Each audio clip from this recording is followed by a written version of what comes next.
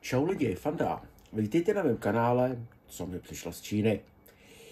Tak, jsem si říkal, že bych se zařadil do houfu dospělých chlapů a že si spravím nějaký počítačový zdroj. Takže OK, přišel mi tenhle ten zdroj, že prostě nefunguje. Fajn.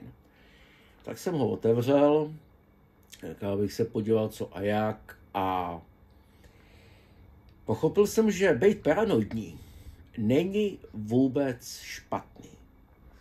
Jak říkal kolega, a tě mu peklo žhaví, to, že jsi paranoidní, neznamená, že po tobě nejdou. No, tak vám ukážu, v čem je tenhle ten počítačový zdroj zákeřný. A myslím si, že není úplně jediný. Je teda jako první, u kterého se mě to stalo, tohleto, ale obávám se, že to není jakoby jeden z desítek milionů, že takových případů může být víc. Takže vám ukážu teďka, co se děje a proč si dát sakra bacha na počítačový zdroje. Takže vám to teďka lidi ukážu. Hele, zdroj mám teďka. Str- uh, je tam přivedená síťová šňůra, uh, která je pod napětím. Síťový vypínač je v poloze 0 je to vypnutý. A teďka, jo, mezi tímhle s tím chladičem a zemí. Tady mám zem. Uala 236 V. Střídavých plné síťové napětí. Při vypnutým zdroji. Když ho zapnu,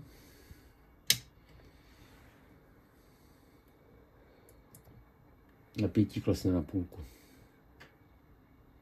Hmm. Nejedná se o nějaký, že by to byly, že by tam zůstaly nabitý kondenzátory nebo něco takového, ne. Při prvním zapnutí ten zdroj může, jak chce být dlouho v klidu. Tohle je střídavý napětí. Takže to je, tady je přímo tvrdý síťový napětí. Při vypnutém vypínači, při uh, vypnutém síťovém zdroji, uh-huh, že konstruktérům děkuji. Takže jsem to zase vyroval ze zásuvky, vybiju si kondenzátor. No tak, a je to, tady není ještě. Výborně, je to vybitý. Tak, paráda. Tak. Tohle se tady v tomto zdroji děje. Takže já jsem původně myslel, že budu měřit pod napětím, že to budu natáčet na kameru. Ne, nebudu.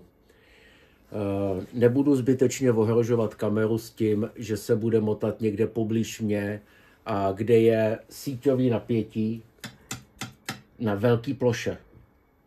Tohle je zákeřný v tom, že, je ten, že to je na velký ploše na té ten chladič si prostě člověk dokáže šáhnout, i když úplně nechce. Takže eh, všechny měření, které jsem chtěl dělat pod napětím, tak vám jenom řeknu výsledky. Co jsem kde změřil, jak jsem to změřil a co se teda vlastně děje. V okamžiku, když bude přítomná kamera, tak zdroj bude, v podstatě bude bez napětí nebo bude kamera daleko ode mě a bude to točený se zoomem. S tím, že zvuk nebude úplně tak ideální, ale jak říkám, kameru mám jednu. Takže takhle ne. Tak jo. Takže co jsem teda tady zjistil? Při zapnutí zdroje, zdroj do zkratu nejde, ale nemám napětí na SBčku. Ah, tady standbyový napětí nemám. Což je napětí, který je potřeba vždycky. Bez, toho, bez těch, plus 5 V na tom zdroji nevymyslíte vůbec nic. Tak. Za tohleto standbyové napětí jsem si tady sehnal uh, schéma podobného zdroje.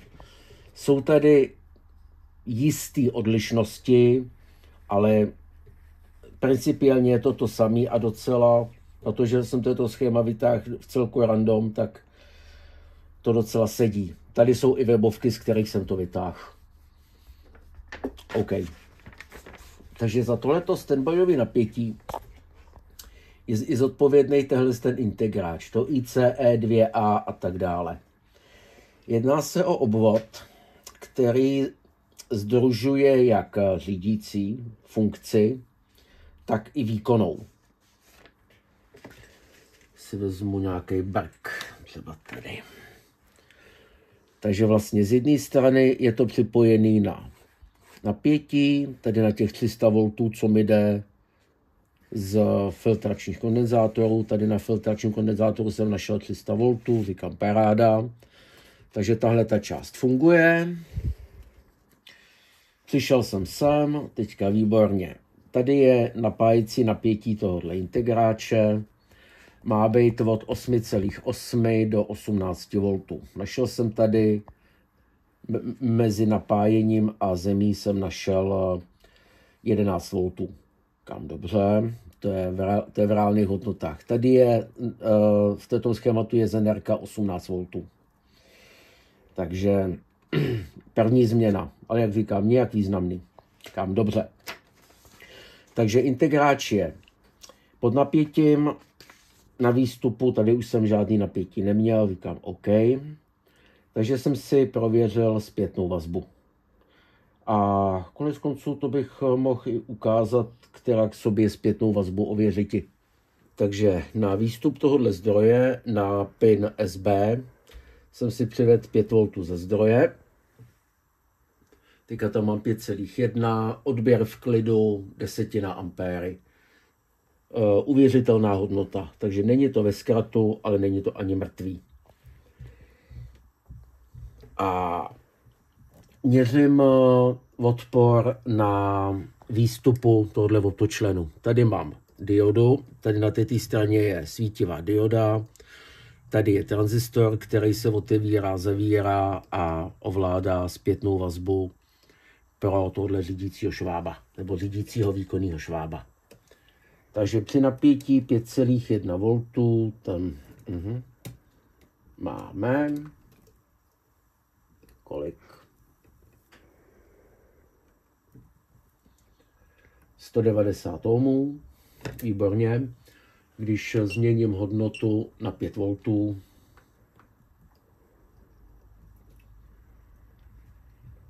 vyleze to na 1,5 kg, výborně, ještě trošku si snížím na 4,9 1,5 kg. Tak, 1,6.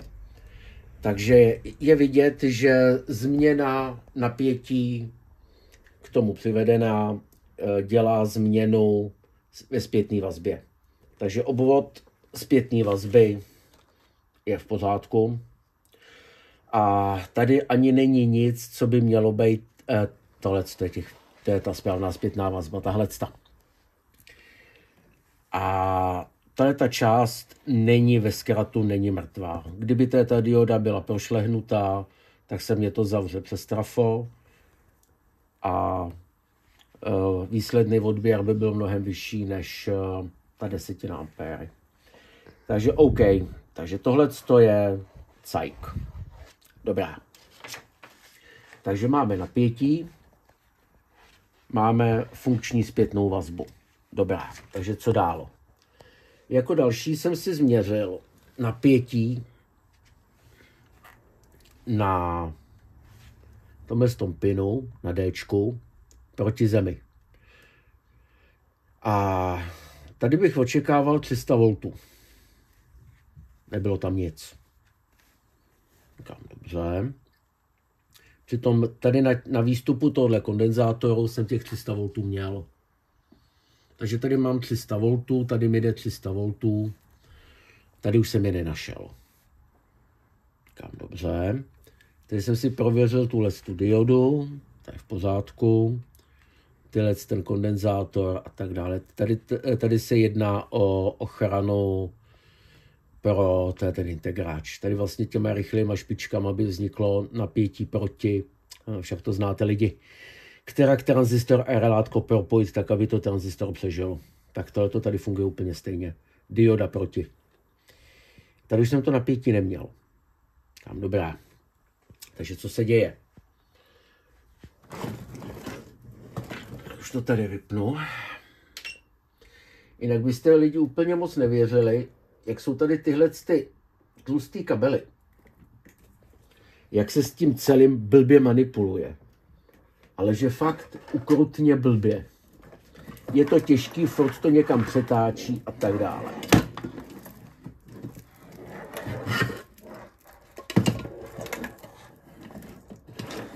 No, jak si to otočit, no? Asi takhle.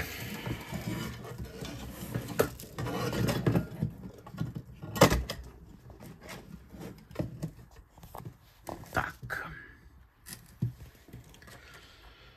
Takže tady máme tenhle ten filtrační kondenzátor, minus plus, tady mám plus a teďka vlastně jsem koukal, jak se to dostává sem na to trafo, že. Takže tady ještě je jeden odpůrek zavedený. Ten tady ve schématu není. Další změna. Poměrně zásadní. A tenhle ten odpor má mít 3,3 eh, ohmů.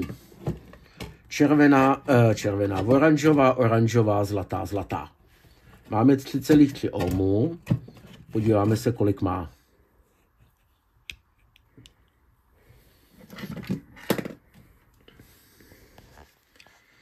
Takže ten je tady tady.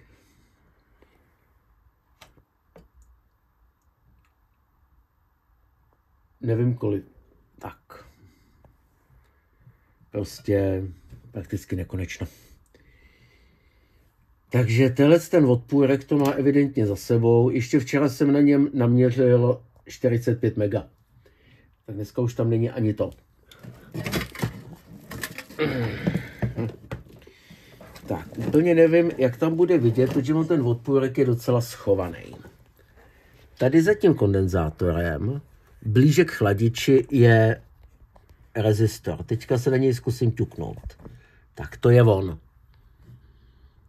Tak ten má mít těch, eh, je to tam vidět na té kameře, je to tam vidět. Takže ten má mít 3,3 ohmů a je to vlastně ochrana, aby tam, uh,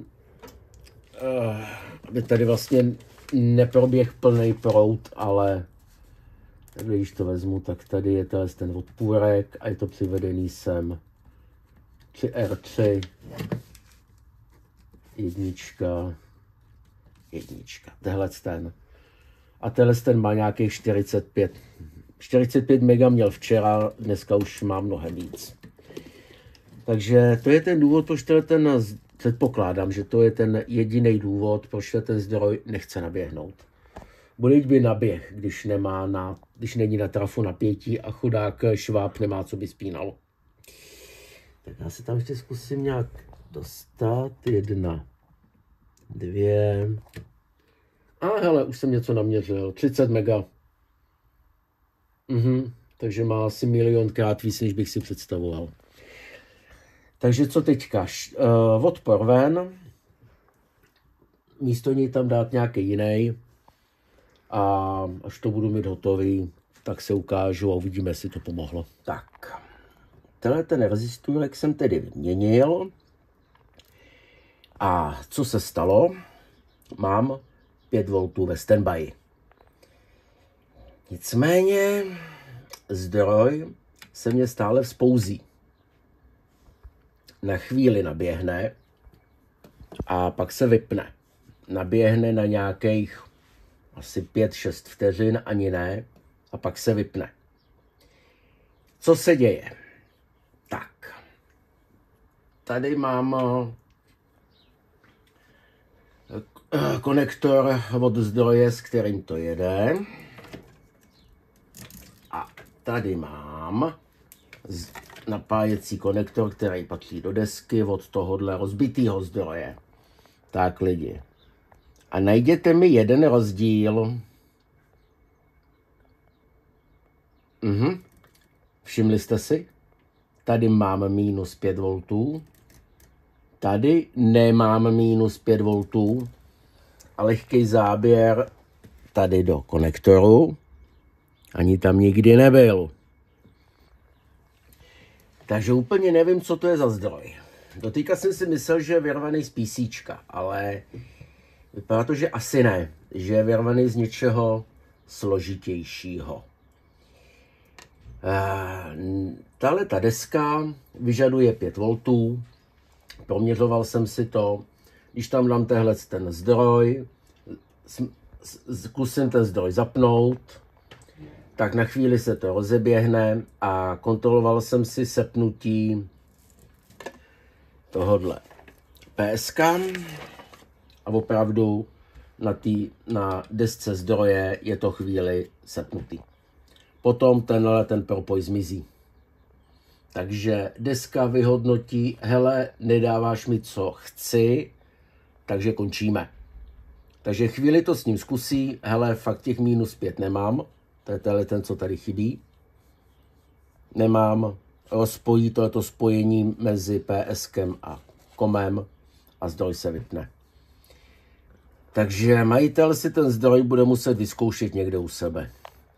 Já opravdu nemám desku, která by se obešla bez minus 5 V. No a to je asi tak celý. Takže co mě zbývá? Sešroubovat to zpátky a odníst to majiteli, ať si to vyzkouší v původní hračce, kde to bylo. Tak jo lidi, takže to by bylo asi k tomuhle už úplně všechno a potkáme se zase u nějakého dalšího videa. Tak jo lidi, čau.